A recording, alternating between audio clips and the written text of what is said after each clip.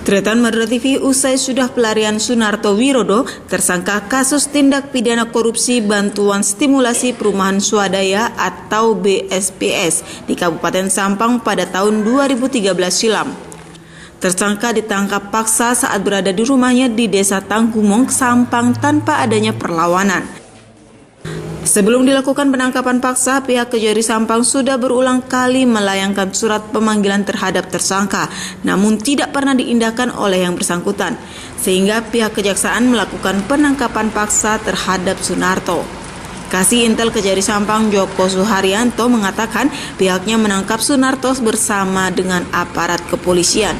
Setelah berhasil ditangkap, tersangka langsung dititipkan ke rutan setempat tim dari jasa penyidik terus dibantu oleh intelijen jaksaan terus sama di backup oleh polisian hmm.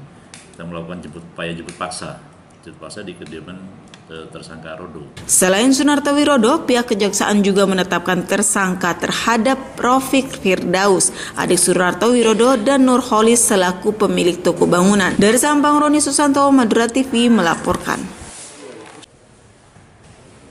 Berita ini dipersembahkan oleh Wira Raja Group Padamu Negeri. Madura TV, Madura dalam satu sentuhan.